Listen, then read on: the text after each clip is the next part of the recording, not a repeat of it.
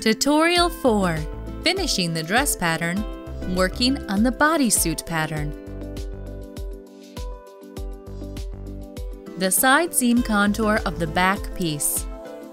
I shift it 2.5 centimeters inwards at the bust line level,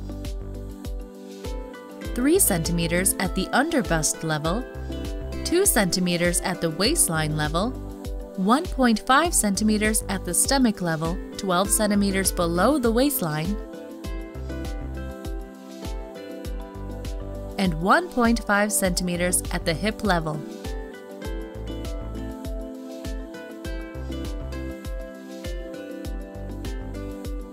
I cut along the adjusted side seam line of the front piece.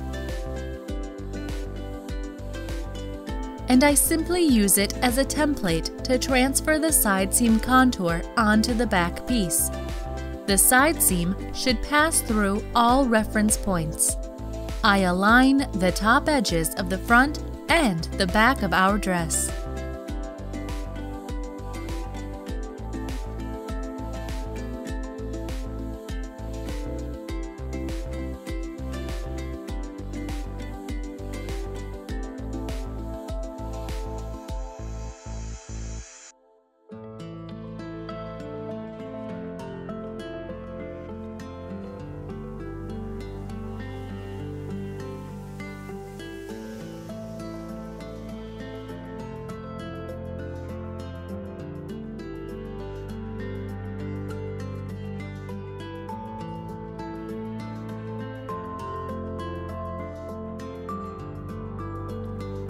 Here are the front and the back with their new side seam contours.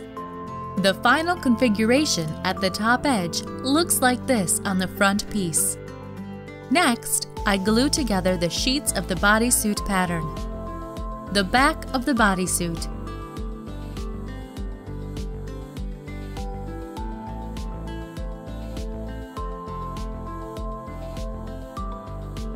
The front of the bodysuit.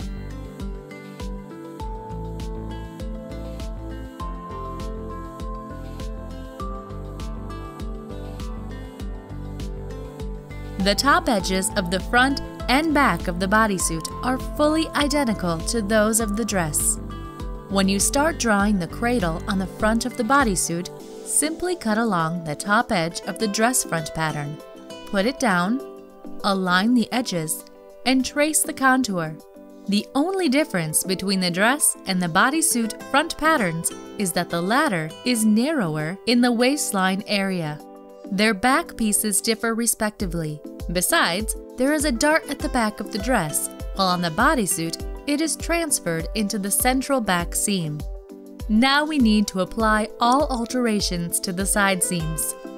The side seam of the bodysuit front piece. I shifted 1.5 centimeters inwards at the bust line level, 2 centimeters at the under bust level, 1 centimeter at the waistline level, 0.5 centimeters at the stomach level, 12 centimeters below the waistline. The hip line is not relevant here. I redraw the contour.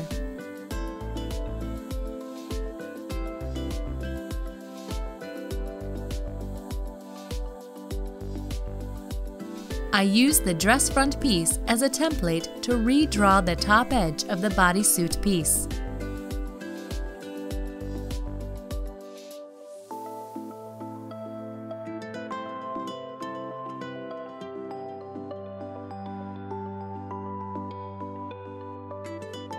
We have adjusted the pattern of the front of the bodysuit, the side seam contour of the back of the bodysuit.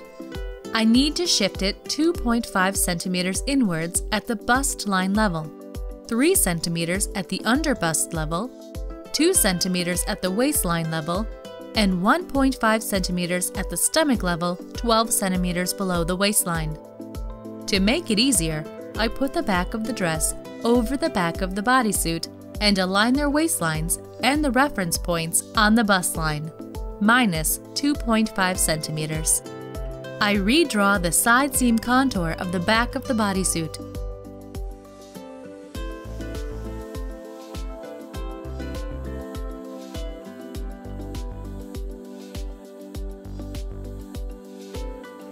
Remember to transfer all notches onto the new line.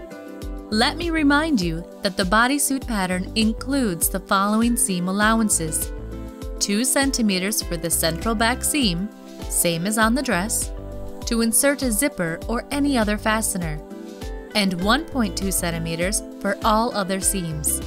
Make sure to measure the area of closure at the bottom of the bodysuit. Don't forget that the front of the bodysuit has a fold line and there is 1.2 centimeters seam allowance in the closure area from the back. We need to decide how we are going to distribute our hooks and eyes. The width of the closure area is 5 centimeters on my pattern. I check my hook and eye tape. It's quite possible to cut 5 centimeters from it without hitting a hook or an eye, but first I will finish the area of closure itself. There is an additional measurement required for bodysuits, crotch length. It is taken with the measuring tape between the legs from the middle of the waistline at the front to the middle of the waistline at the back. Please be sure to compare your pattern against your client's measurements, or else the panties might come out too long or too short. And remember to account for the width of the hook and eye tape when closed. I cut out the dress and the bodysuit pieces.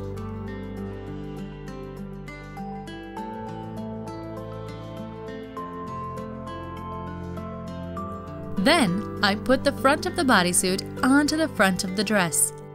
The cradles of the face, dress, and the lining, bodysuit, match perfectly.